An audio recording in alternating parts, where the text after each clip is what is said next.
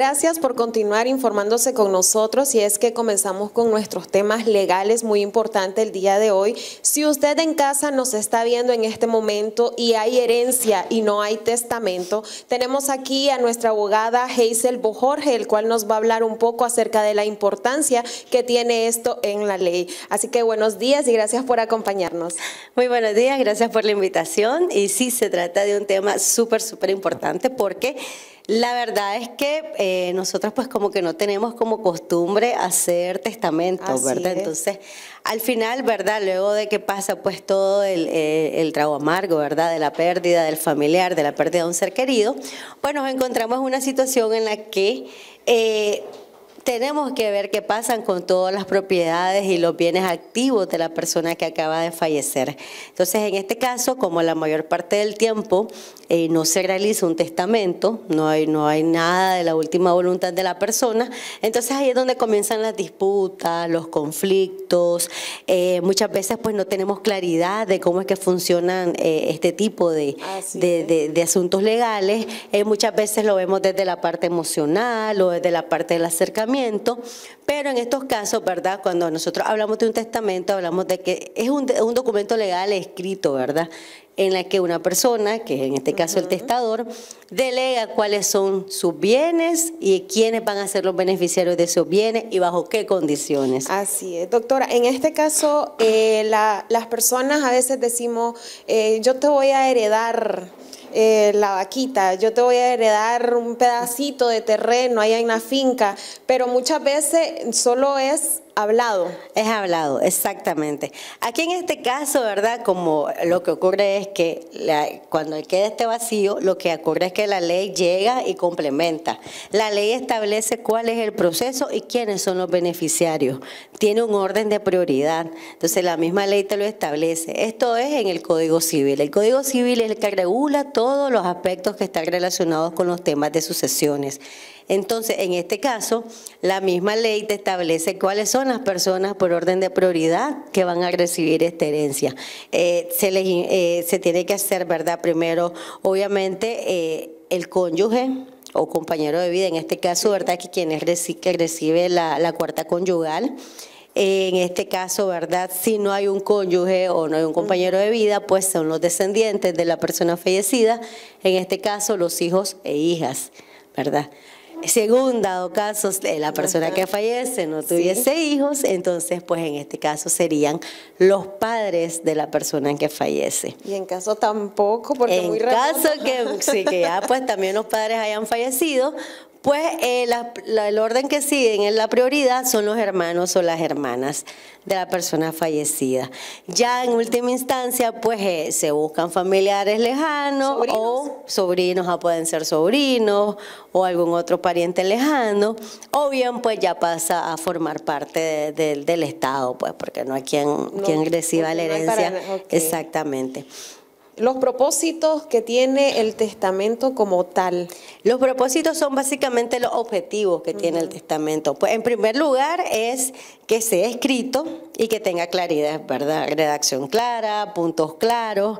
En este caso, pues muchas veces un punto importante es poder asesorarse con una persona que entiende muy bien de, tema especializado, ¿verdad? Para poderte dar todas las pautas para poder redactar de una manera clara, el testamento. Entonces, en primer lugar está esto, ¿verdad? En segundo lugar, te da la oportunidad, el objetivo es poder nombrar claramente quiénes son los beneficiarios. En tercer lugar, otro objetivo del testamento es poder nombrar, en el caso que hayan hijos menores, por ejemplo, poder nombrar tutores o, o custodia, poder decir bueno, estas son las personas que se van a encargar de mis hijos en caso que yo fallezca, ¿verdad? Por otro lado, también te da la oportunidad de designar un albacea. que es un albacea? Una persona que va a encargarse de ejecutar el testamento tal y como está establecido. Es como que va a supervisar, es como que tengas un supervisor. Ah, Entonces, esta persona va a hacerse, va a asegurarse de que lo que está establecido en el testamento sea lo que se distribuya bajo las condiciones. Porque muchas veces incluso con nosotros este podemos también decir, en, como propósito ¿verdad? del testamento, Eh, destacar pues quiénes son los beneficiados. Muchas veces eh, nosotros pensamos en nuestros familiares o pueden ser organizaciones benéficas también, eso está totalmente permitido.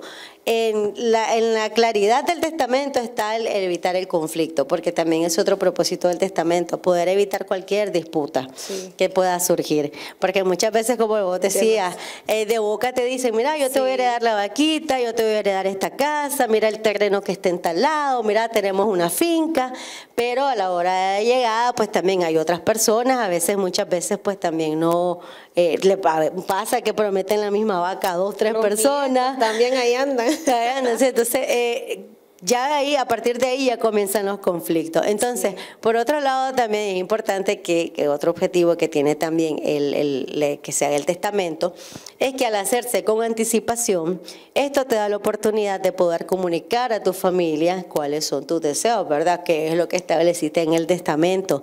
Y a partir de ahí, pues de lo que esté escrito, poder comenzar a prometer si aquí está este terreno, aquí está esta casa, aquí está este vehículo. Entonces, eh, eso te permite, ¿verdad?, poder comunicarlo, comunicarlo de manera clara y que, esté establecido, ¿verdad? Otra, otros, otro propósito también del testamento es que una vez que ya está hecho, tiene que guardarse y sellarse y ponerse en un lugar seguro. Y los familiares tienen que saber dónde está.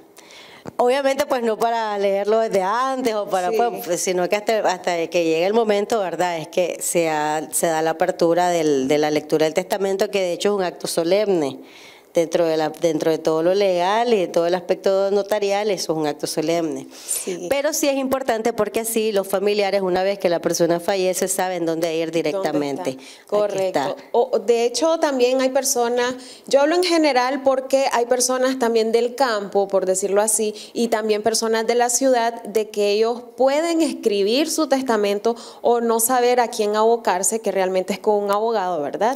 Entonces ellos escriben su testamento y lo pueden tener guardado y le dicen a lo mejor a la hija de confianza, porque sabemos que a veces hay una hija, una persona de confianza, Cualquier cosa que me llegue a pasar en gaveta tal, ahí tengo mi archivo y tengo el testamento. No me quise abocar con un abogado eh, porque a lo mejor no tenía asesoramiento, no había alguien que lo motivara a hacerlo. Al tenerlo escrito con su firma o su huella, ¿eso es válido o tienen que hacer comprobantes de si realmente él fue el que lo hizo? Tiene que ser siempre con un notario y puede ser un testamento abierto o puede ser un testamento cerrado.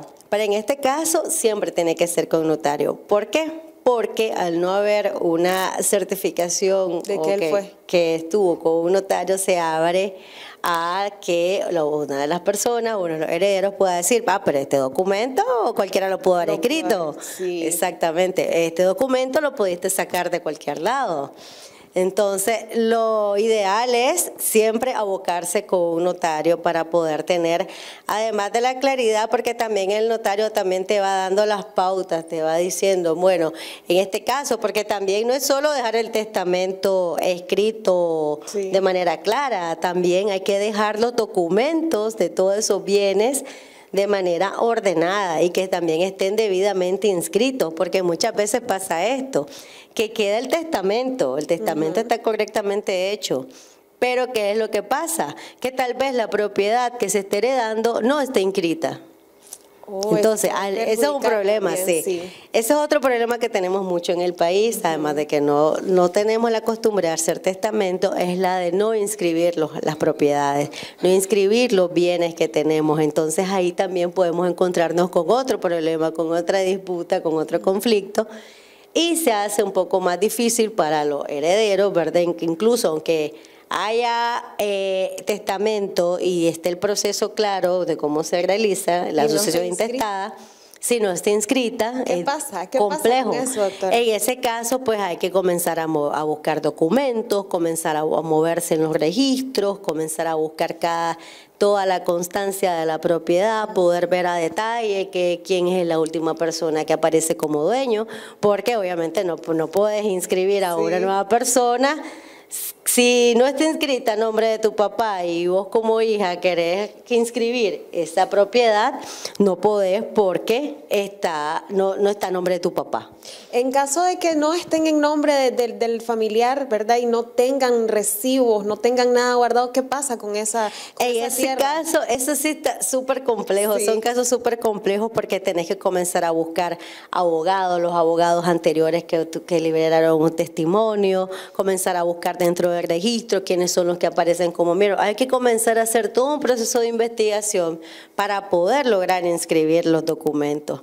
Pero pues la ideal por eso es que la importancia de poder hacer este tipo de documentos con tiempo y en, en tiempo y forma es poder tener cada una de estas documentación importante a la mano y debidamente registrada porque pasa igual como incluso las partidas de nacimiento son tan importantes. Muchas veces las personas que ya son más adultas se encuentran con este problema, que tal vez no fueron debidamente inscritos, tal vez falta un apellido de la mamá, un apellido del papá, entonces al momento que estás queriendo eh, de llegar a juicio y decir yo también soy heredero, no podés porque no, aparecen los no apareces con los apellidos de la persona que falleció. Entonces también esos son otros detalles que, por eso es que es importante poder hacer esto eh, con tiempo, con anticipación, porque es cierto, no sabemos cuándo nos va a pasar algo, no sabemos cuándo vamos a fallecer.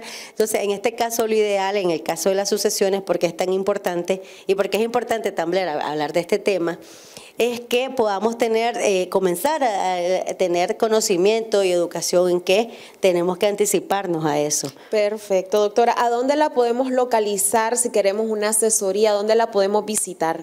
Claro que sí, pueden buscarnos en Facebook, aparecemos como Jorge y Asociados, por ahí estamos, muchas veces nos escriben por inbox, entonces ahí estamos contestando sus consultas. De igual manera, pues obviamente como pues todo el siglo XXI también tenemos WhatsApp, puedes encontrarnos en el 8569-4833, totalmente pues el, WhatsApp abierto, pueden escribirnos, hacer sus llamadas y poder consultarnos, siempre estamos a la orden. Muchísimas gracias doctora Hazel, ya saben las recomendaciones que la doctora decía, por favor realicemos el testamento, no sabemos realmente cuándo nos vamos a ir de esta tierra, pero para evitar, ¿verdad?, eh, pleitos, conflictos entre familias, es mejor dejar todo en orden. Ahí aparecían los números de la doctora en pantalla. Nosotros vamos a ir a una pausa comercial, pero regresamos más con su revista Buenos Días Nicaragua.